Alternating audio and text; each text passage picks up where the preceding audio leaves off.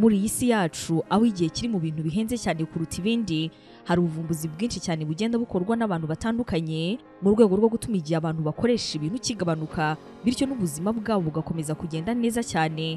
Bino bikoresho bivumburwa nyine birumvikana yuko ahanini biba bigamije guhindura ubuzima bw'abantu. Muri kino kiganiro cyacu cya none reka tugaruke ku ikoranabuhanga maze tuvuge ku bintu icumi byavumbuwe n'abahanga hamwe n'icyo bagiye babikorera. Tuzakomeza kugenda turebera hamwe n'izindi ngingo zitandukanye zijyanye cyane cyane n'ikoranabuhanga nka kimwe mu by'isi yacu ikeneye kuri ubu. Ikaza uri hose nk'ibisanzwe ukaba ugiye kubana nanjye abayo Yvette Sandrine. Ujya wibaza ukuntu wakora ibirori maze bikaguma mu bitekerezo byawe n'abandi benshi bazabireba batari bahari. Reka nkurangire SF Media. SF Media tubakorera video mu birori bitandukanye byose. Ibyoroheje n'ibikomeye amafoto meza cyane bigoranye ko wazasanga ahandi. Ndetse kandi tunakora live stream ku muntu ufite inama. Abafite YouTube mwese namwe tubafasha kunyuzaho ibintu live yaba muri studio cyangwa se tukabisangiraho muri akarusho kuri bino byose ni uko SF Media ku bantu basanzwe bari mu mwuga wo gukora video gufotora cyangwa se gukora live stream abangaba tubatiza ibikoresho kandi ku giciro gito cyane. Ku bindi bisobanuro mwatuvugisha kuri izo nimero. Chairless chair cyangwa se nanone intebe umuntu akoresha byose niyo tugiye guheraho mu bintu by'ikoranabuhanga bimaze igihe gito yabivumbuwe kandi byakwifashishwa mu buryo bukomeye. The chairless chair is an ergonomic sitting support. Mu buzima bwacu kwicara igihe kinini udahaguruka aho uri tuzi uburyo abaganga ndetse n'inzobere mu by'ubuzima bakunze kutubwira yuko atari byiza cyane kuri twe. Gusa nanone gukomeza uhaguruka wongera uhagarara wegezaho intebe wongera uyukurura ibi ngibi byatumye benshi babona yuko bidakwiriye kuko bitwara umwanya bikanatuma kandi umuntu agira ubute. Ibi ariko nanone bikunze kubangamira cyane cyane ba bantu basabwa kumara umwanya munini ibyo bakora bahagaze bingana n'ibyo bakora bicaye. Byatumye rero abahanga bavumbura intebe umuntu ashobora gukoresha byose ahagaze kandi yajya kwicara ino ntebe ikihina maze umuntu akabasha kwicara. Ino ntebe rero imeze nk'umwenda icyo ukora urayambara maze warangiza wahaguruka na yo ikamenya yuko uhagurutse ikakureka ugahaguruka. Kandi nanone wajya kwicara ikabimenya yuko ugiye kwicara maze ikihina maze rwose ukicara. Ino ntebe ahubwo iyo uhagaze ikaba inarambura amaguru yawe ku buryo yanagukorera masaje bityo imitsi yawe ikarambuka kandi ikagenda neza.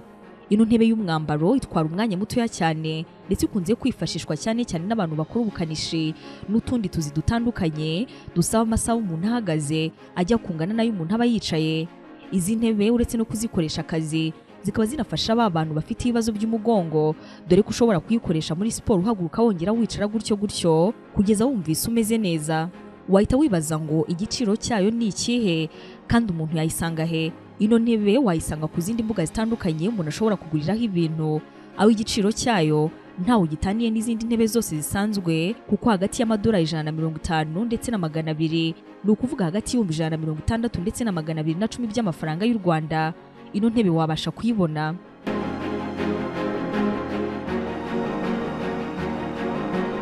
Ikindi kintu cya kabiri mu bimaze igihe gito bivumbuwe kandi by'ikoranabuhanga ni igare ryitwa water bike cyangwa se nanone amagare yo mu mazi.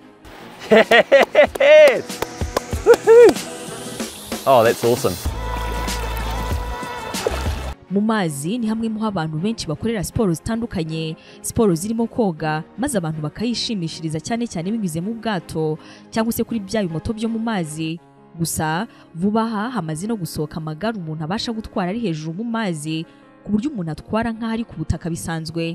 Ano magare akoranye ikoranabuhanga kuko umuntu uritwaye abasha no kumanuka maze umuntu akaba yanyongera igare imbere mu mazi utarimo kurireba mu gihe waba uri hanze y'amazi. Ndetse kandi uno muntu uritwaye yanabishaka kongera akarizamura akaba yaritwara aho bose babasha kurireba. Ibi rero bikaba byarashimishije benshi bakunda kugenda mu mazi dore ko wakwishimisha urimo no gukora siporo icyarimwe unishimira nyine kuba uri mu mazi menshi gutya. Ano magare yo mu mazi igiciro cyayo gisa nk'ikihagazeho dore ko byibura ugomba kuba ufite hejuru y'amadolari ibihumbi umunani ni ukuvuga hejuru ya miliyoni umunani z'amafaranga y'u rwanda kugira ngo ubashe kurigura. Mu gihe hasanzwe hazwi imodoka binini cyangwa se abantu bahabwa akazi kugira ngo babashe gusenya ibintu bikozwe mu byuma bibe nyine byakoreshwa mu gukora ibindi byuma bishya. Iki ngiki cyo cyakozwe nk'umuntu hanyuma gihabwa ububasha bwo kuba cyakora kano kazi kose. Iki cyahawe imbaraga nyinshi ku buryo imodoka ikomeye kuyisenya ari ibintu byoroshye cyane. Kibasha gusenya ibirimo amamodoka kikabasha kugenda ahantu hanini cyane kandi kikaba cyanakwikorezwa byinshi. Igikunze gutungura abantu benshi ni uburyo kigaragara. Is currently in its late phase of development. It is built out of electrohydraulics and it's controlled through the pilot's arms movements. robot bot ni ubwato busukura mu mazi manini ubu ngubu nabwo bumaze igihe kitari kinini cyane buvumbuwe.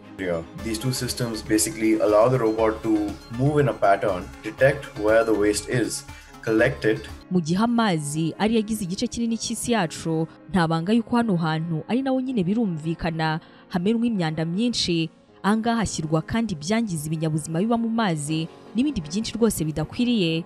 Ibi rero byatumye kuri ubu ngubu hakorwa ubwato bw'ikoranabuhanga aho buno bwato bwifitemo uburyo bukurura imyanda iri mu mazi ariko kandi imyanda itari ibinyabuzima. Nuko yarangiza ikavamo igasohokamo. Ariko kandi imyanda itari ibinyabuzima cyane cyane nk'imyanda ikoze mu myenda ndetse na za plastique ubu bwato bugenda buyiroba. Hanyuma kubera ikoranabuhanga bukoranywe ino myanda yose ikazamuka. Maze ikajya mu kindi gice cya buno bwato aho buciye hose harongera hagasa neza cyane maze n'ibinyabuzima nk'amafi mu mazi byose bikabona aho kuba heza izi robot boats ziba mu bihugu cyane cyane bikora ku nyanja kuko nyine birumvikana ni ho ziba zikenewe cyane kurenza ahandi.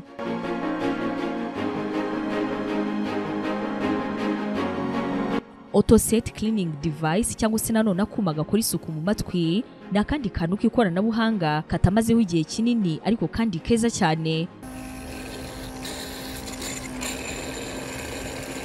Ku bantu bagira ubukurugutwa bwinshi hari igihe buba bwinshi cyane bukaba bwanateza indwara zishobora no gutuma umuntu atongera kumva. Aba bantu rero iyo bimaze kuba byinshi cyane mu matwi yabo ni nabwo batangira kurwara indwara zitandukanye z'amatwi. Ibyo rero ni byo byatumye havumburwa agakoresho kajya kumera nk'ako bumviramo indirimbo aho kano gashyirwamo amazi maze umuntu akakambara.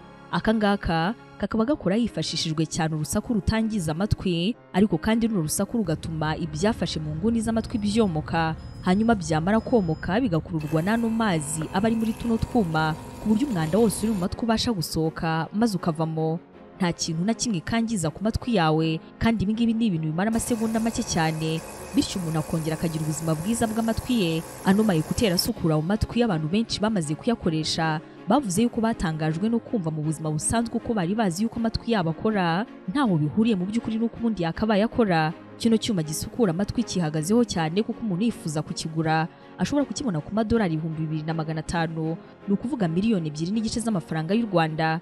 Gusa ariko mu bitaro bitandukanye cyane cyane muri amerika ndetse no mu bushinwa ino ni serivisi waka kwa muganga maze bakagufasha. Bakaba rwose banabigukorera maze wowe ukishyura ariko kandi utagiye kuyitwara ukazajya ugaruka. Nk'inshuro imwe mu mezi abiri amatwi yawe agakomeza gukora neza afite isuku ihagije aka nako ni akandi kantu benshi bishimiye kubona The Urban Circus cyangwa se nanone imyenda ituma umuntu adakora impanuka ngo narangiza akomereke cyane cyane ku bice byo hejuru ni irindi koranabuhanga ritamaze igihe kinini rivumbuwe ariko kandi ry'ingenzi 08 seconds. An airbag designed to protect the most vulnerable parts of your body. Impanuka za moto n'amagare ni zimwe mu zibasira benshi kandi zikanatwara ubuzima bw'abantu batari bake ku isi kuvunika umugongo ndetse no gukomereka kw'ibice byo hejuru ni byo abakoze ano makote birinze kuruta ibindi kuko bakoze ino myenda umuntu yambara hanyuma rero yagira ikibazo cyo kwenda kugwa ino myenda igahita yuzura umwuka ku buryo umuntu ntacyo yaba na gito cyane cyane ku bice byo hejuru The most vulnerable parts of your body. Your back, neck, chest, and abdomen. Ano makote kandi anabasha kudetekitinga cyangwa se nanone kumva aho imodoka ishaka kugonga umuntu iherereye maze kano kanya umwuka ugahita wuzura ku buryo n'imodoka yakugonga cyangwa se wowe ubwawe uyigonze ntacyo ushobora kuba ku bice byo hejuru. Ku bantu bari ahantu hakunze kubera impanuka hamanuka cyane n'ahaterera cyane abarimo kwiga gutwara moto cyangwa se amagare.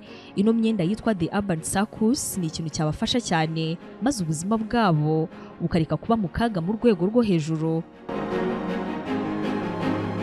jetpack ni irindi koranabuhanga ritaramara igihe kinini cyane rije ariko kandi ryihariye.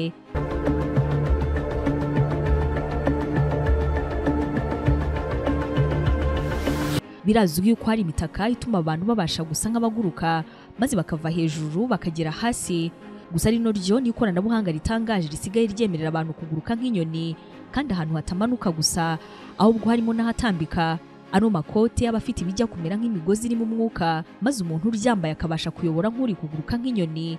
Zino jetpack zirimo zirakoreshwa cyane n'abasirikare cyane cyane mu bihugu nka Amerika ariko kandi bikaba binatekerezwa yuko n'abandi bantu ku giti cyabo bifuza kumva uko kuguruka nk'inyoni bimera nta kabuza mu minsi iri imbere ano makoti azatangira kubagezwaho.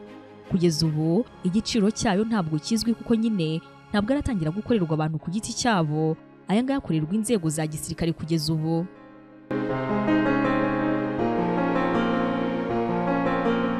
Parikingi zihariye n'irindi koranabuhanga rimaze iminsi rigezweho kandi rikunze gutangaza benshi baribonye bwa mbere.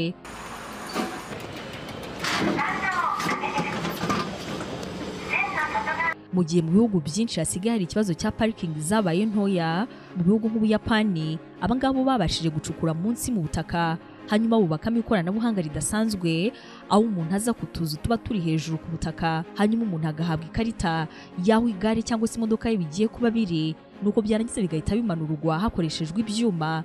Nyuma rero umuntu akaba agaruka hanyuma agahamagara imodoka cyangwa se igare rye rikazamuka mu gihe gitoya cyane maze agakomeza gahunda ze atagiye guhura n'ibibazo bya parikingi bikunze kugora benshi. Iri koranabuhanga rya zino parikingi zo mu butaka rino nyine rigaragara cyane mu bihugu nk'ubuyapani. Rikaba rikoresha igihe gitoya cyane kuko nyine haba hari utuzu twinshi tujyanye n'aho amagare cyangwa se imodoka z'abantu zishobora gusohokera. Kandi nta kibazo na kimwe kiba gihari cya bino byuma bizamura no magare na zino modoka kuko ibyo ngibyo ari ibintu bikorwa mu gihe gito cyane. Iri koranabuhanga naryo rikaba ari ikoranabuhanga ritangaje ariko kandi rimaze igihe gitoya risohotse. Reka dusoreze kuri the car umbrella cyangwa se nanone the car windshield aho bino tugiye gusoreza hari ibireba cyane abantu batunze imodoka. And hours of research and have listed them based on popularity, quality, price, ibi ngibi biza mu bwoko bwinshi ariko kandi wabigereranya n'imitaka. Utu ngutu umuntu aratugura yarangiza akadushyira imbere maze tukarinda izuba n'ubushyuhe bwinshi kuba byakwinjira mu modoka maze akagumamo ubuhehere. Buddy. Now, this design is one of the hottest selling products on TV right now. ubu ngubu bashyira imbere wawubona ku madolari mirongo itanu gusa. Ni ukuvuga ibihumbi mirongo itanu by'amafaranga y'u rwanda. Ntabwo ari tuno gusa kuko hari noneho n'imitaka inirinda imodoka icyo ari cyo cyose. Nko kuba imodoka yahura n'ibyago umuntu yashaka kuyiteza wenda nko kuyitera amabuye ayiturutse hejuru. Ndetse bino by'inyuma byo bikaba binarinda imodoka yose muri rusange. Kuba yagerwaho n'izuba cyangwa se n'ibindi bibazo icyiza cya bino bisa nk'imitaka yagutse ikaba inarinda imodoka yose kandi ikaba itwara umwanya muto cyane umwanya ungana nk'uko imodoka yawe nyine ingana. Ino mitaka bashyira ku modoka umuntu akaba yayomeka ku modoka y'igihe kinini maze agakoresha urufunguzo nk'uko arukoresha yatsa imodoka ye cyangwa se ayifunga.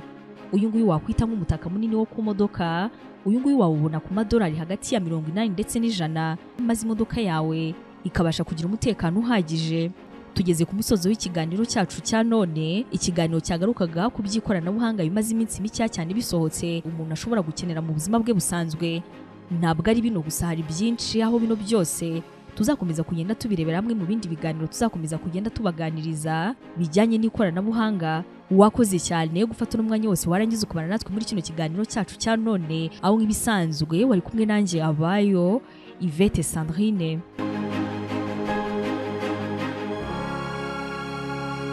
Ivuriro inshuti y'ubuzima.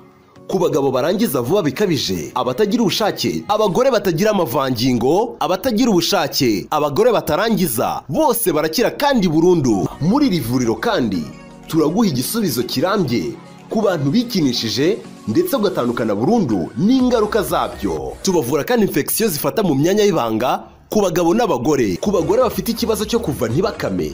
Turabafasha. Tubavura kandi amarozi y'ubwoko bwose yaba amategano amatamikano amahuherano n'ayandi. Hitamo kurengera ubuzima bwawe. Ugana ivuriro inshuti y'ubuzima.